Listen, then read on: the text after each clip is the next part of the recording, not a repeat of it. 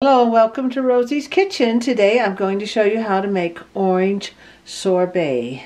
And it's only one ingredient. Yep, no sugar, nothing added. It's just an orange. Let's show you how to do that. Make sure you have an orange. Yeah, my granddaughter, she, I, I didn't have the strawberries and cream, cream stuff, and she, she went and got an orange and she says, Grandma, make ice cream out of this. I go, you can't make, I need cream, I need milk, uh, sugar, eggs. I don't have everything. And she goes, just make ice cream out of this.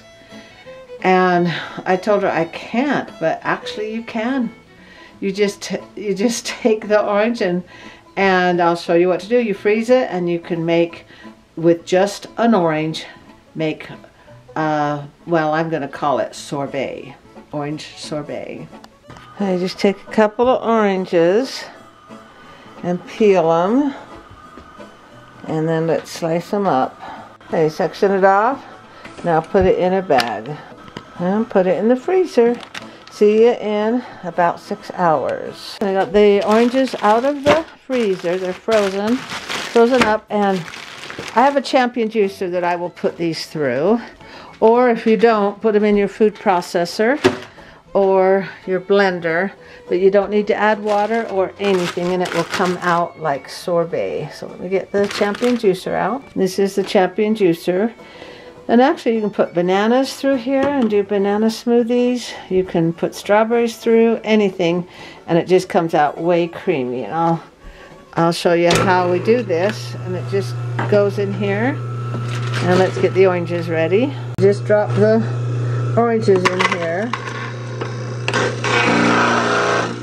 Okay, and as it comes out, it just comes out nice and creamy. It's so good and smooth, like actually better than ice cream. And this is just oranges. That's all I've got. I'm not adding anything.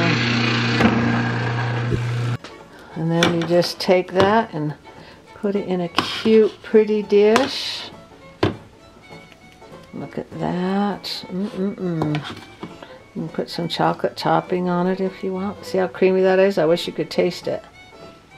And remember, if you don't have a champion juicer, you just use a food processor and then it turns into this sorbet.